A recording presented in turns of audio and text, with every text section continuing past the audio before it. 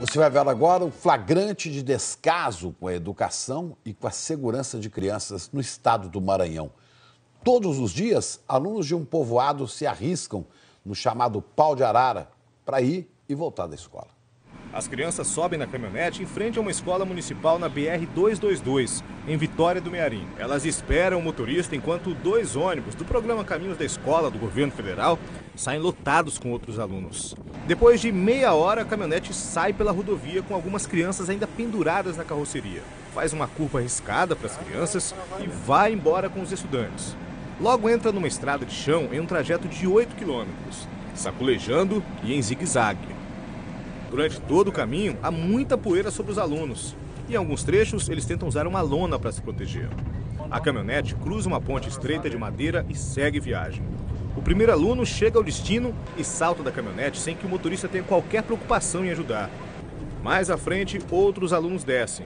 E mais vazio, o motorista acelera sem se importar com o risco. Quando a poeira aumenta, os cadernos viram abano e as mãos protegem os olhos e o nariz.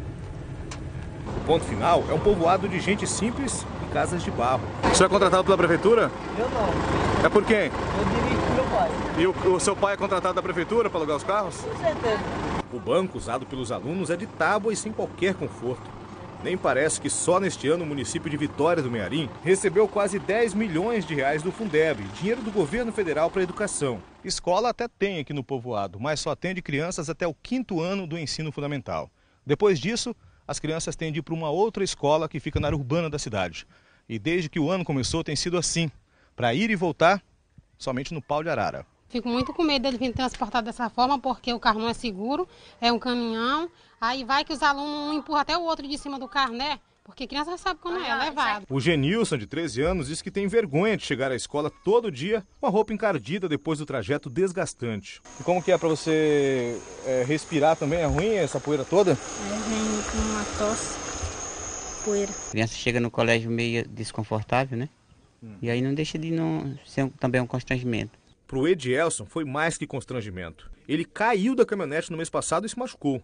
O uniforme ainda está marcado pela queda. O carro estava muito cheio, estava na beirada, aí foi bater no buraco, escorregar a mão e cair. Vamos que ele morre, cai do, do, do carro alto daquele e morre no caminho.